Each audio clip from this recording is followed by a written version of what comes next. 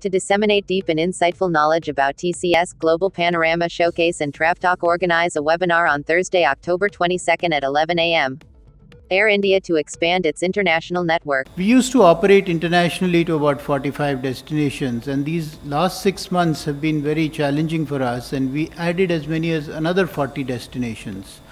Destinations to which Air India has never flown earlier. Another very interesting feature which happened under the guidance of our minister and the ministry has been these air bubble arrangements.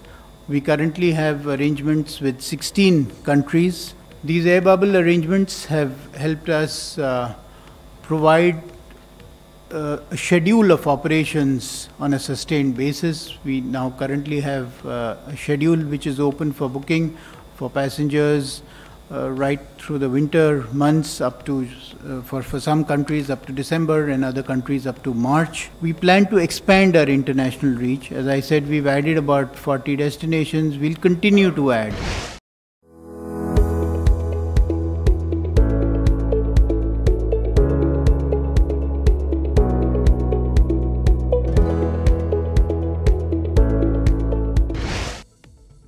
TAAI demands immediate implementation of new tourism policy. The national tourism policy is for the next five years. Okay, so it's going to take time first. It's and we do not want it to take time. So as a matter of fact, uh, I would say that they should start implementing it on an immediate basis because the new norms and a demographic of a traveler and tourism is changing a lot and need to bring that protocol also in for the immediate and how we look at it for the next five years and 10 years is going to be a thing which needs to be implemented also simultaneously. We industry uh, associations are anyway working on a daily basis with the Ministry of Tourism. So I'm sure that we can tweak it, we can change it as and how we see the structure evolving. But if we are going to delay it by only talks and only discussions, it's never come, it'll never become effective.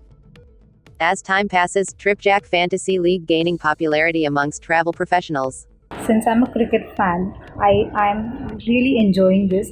Yeah, in the initial days, I actually uh, lost a lot, a lot of games, but recently uh, I I came on the third uh, third on the ledger board and uh, yesterday also i came second on the ledger board uh, so i i'm very happy